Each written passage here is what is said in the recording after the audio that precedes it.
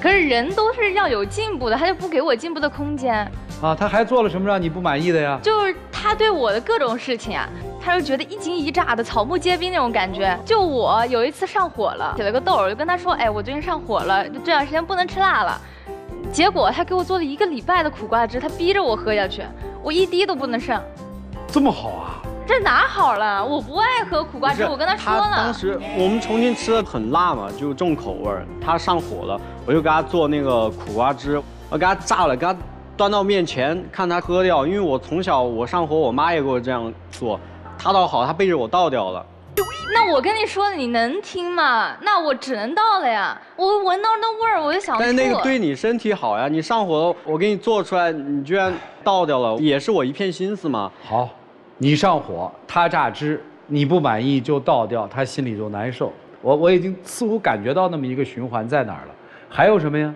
啊，就是他对我的控制欲特别强。怎么又控制了呢？就他出差吧，我以为他走了，我能娱乐两天吧，我能在家里自己放松两天，就不用有人管着我了。就他给我列了一个清单，上面列了我早中晚要吃啥，然后晚上几点睡，早上几点起。每次我要吃什么东西都要给他拍照，他一有空就给我打视频。他问我，哎，你饭吃了吗？我跟你说那些水果你吃了吗？他就有点像老妈子了，你知道吗？我妈都没管那么多。我在外边，我出差，我抽空关心你，我觉得怎么了？我一不在，然后你就点外卖，外卖它又不健康又不卫生。我冰箱给你做好了，你热一下就能吃。然后水果也是，我我不盯着你，你又不吃。不是你出差之前要先把饭做好的。对呀，我给他放冰箱里，保鲜膜封着，他热一下就能吃了，又不需要他做，我对他可好了。我又不是小孩儿，就这种事情我自己我是能干的，好吗？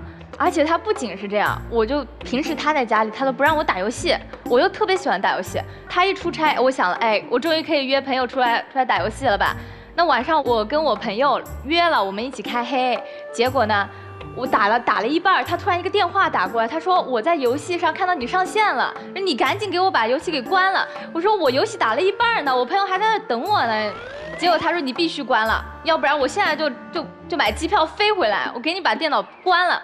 他是这种态度，没办法，我只打了一半的游戏，第二天要工作嘛，我怕影响他工作。然后他作息，就我不在身边，他作息就特别的就不自律。你也是，就没有你的时候，人二十多年怎么活过来的？听着真是生气，你知道吧？一个就是我把心肺全掏给你了，另外一个说什么心肺啊？我不要这个东西。你看你给的人家不想要，往后撤撤，兄弟。也不是，就他得掌握点度啊。怎么？我现在感觉我跟他在一起就没有什么自由的空间。